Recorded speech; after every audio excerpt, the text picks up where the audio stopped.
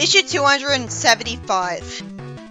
Sonic wastes valuable time trying to make an annoying, dramatic speech against Sigma that just serves to recap to us that he's got an army, when that's what the recap pages are for. Fortunately, reality ensues because Sigma wasn't listening and didn't respond. Sonic asks for someone I don't care about to get Sigma's attention with an attack. Well, at least there's a lightning storm in the background to set the mood. Hey, wait a minute. Why the fuck would all these robots get struck by lightning? Not to mention Bunnie. You don't even have to be a robot to get hit by lightning. You just have to be unlucky. I want to care about these RPG characters, but the plot itself isn't giving me any deep personalities for them. There's a giant panel of all the heroes rushing at the giant Sigma, and if I wasn't reviewing this, I wouldn't care enough to stare at it for so long to try to see everything going on at once. It's too overwhelming. Billy Hatcher rolls a giant egg, throwing off the serious mood of the scene. An explosion happens above him, with the characters from Okami using their magic to help out. I hope he'll be given something interesting to say instead of just describing what's clearly happening, because this isn't motivating me to type about it. Nothing about this is creative. Ryu's surprised at seeing his mortal enemy, who has to tell him that yes, they're gonna team up. I know there's no chance of the heroes losing or even getting injured, so why should I care about any of this? Especially if he doesn't focus on any character long enough. There's no surprises. I thought it earlier, but Shadaloo sounds so silly. It completely broke the tone he was trying to go for every time he said it. Why would he say that when he's trying to be intimidating? Meanwhile, Eggman says while hiding he doesn't see any defenses, and Wily's assumed that Sigma thought he killed them by attacking the Sky Patrol. Won't he have killed the Zeti too, since they were in the brig? Xander thinks he's gonna sacrifice Eggman Wily to get his destiny. We didn't have to be spoiled on that. So he's not actually gonna help Eggman Wily in the end. Does he want to rewrite reality with the Master Engine? At least reality rewriting is kinda justified here because it's powered by the magical energy of two entire planets. Speaking of that, Eggman plans to make him reality just for revenge on Loop. Of course, because realistically that's the only way a reality recreated by Eggman would be. It wouldn't be Sonic 1, that's way too lighthearted for him. And it certainly wouldn't involve the main heroes being able to bother him. Also, these guys aren't idiots for trusting Xander because they're just desperate and don't think they have any other choice right now. And his lie was convincing enough. Though it did get me suspicious when he said that they didn't even like his destiny.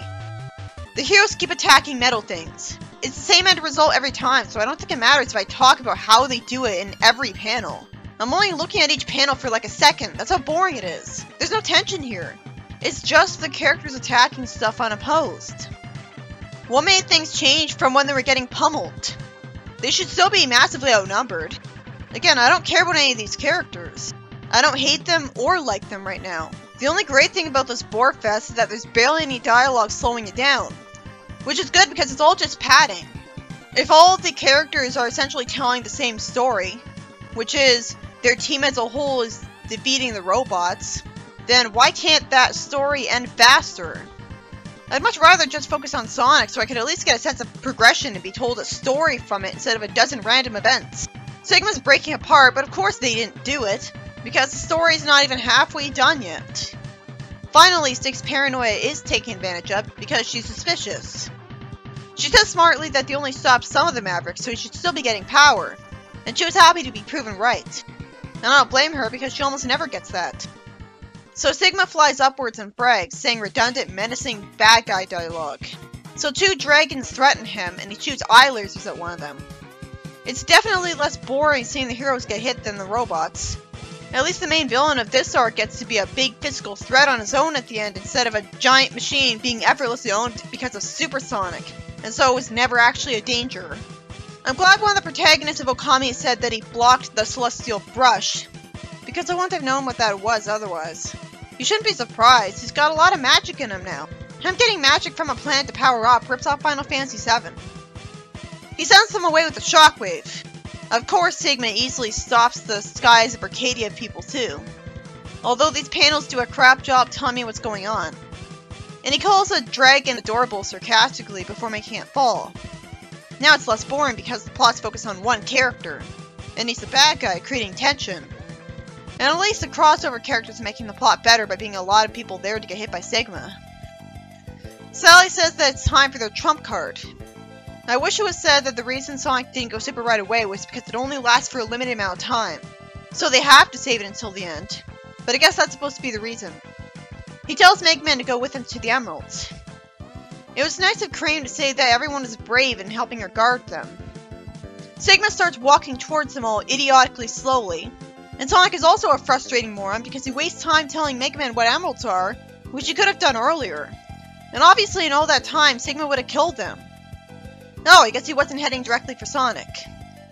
That's plausible because there's so many people, so he could have been heading for somebody else. Still, you think he would have killed somebody in all this time.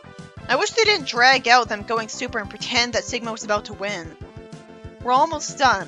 Sadly, there's an issue after this, when this really feels like the finale, which only proves how bad this writer is at pacing.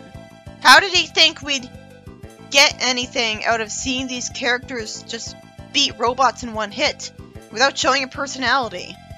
This issue is by Ian Flynn, and it's about Sega heroes fighting robots the whole time, boring the hell out of me from no tension and no focus on one particular character to have an actual story, and not just a series of random events. Finally, there's an actual plot when Sigma gets a bunch of hits in, and the heroes go super, but never mind, the story ends there. I know Sigma had a big army, but still, shorten it a bit. This issue could have easily been the finale of the arc. It could have gotten away with injuring the crossover characters at least.